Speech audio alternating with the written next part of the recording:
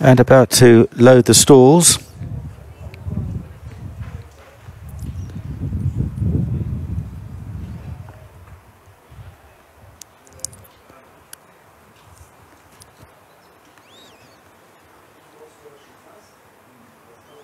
Etu Brute going forward under Charlie Bishop, joining Jadwal. Cobweb Corner is next.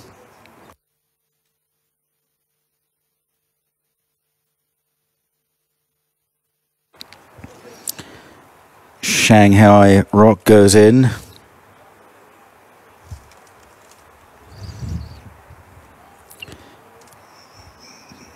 First Profit and uh, Atesa will be the last two.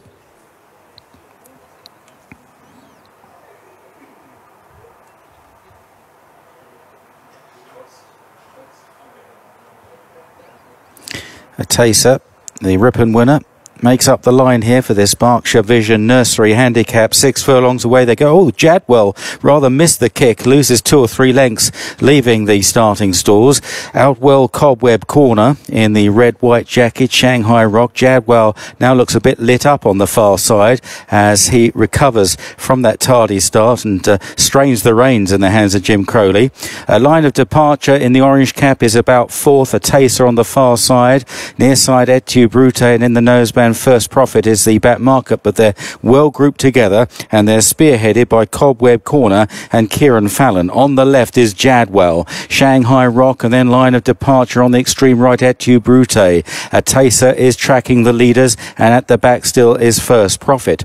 Racing on towards the final quarter mile, Cobweb Corner now being cajoled along, Shanghai Rock with a chance, uh, wound up on the far side, Jadwal with every chance as well, line of departure and Etu Brute, and these two on this side side are beginning to do better than the others. It's line of departure and Etu Brute. First profit runs on, then Cobweb Corner as they race inside the final furlong. Line of departure, beating off Etu Brute. Out wide, Atesa is staying on gamely, but it's line of departure by a length and a half and too good. Atesa ran on well in second.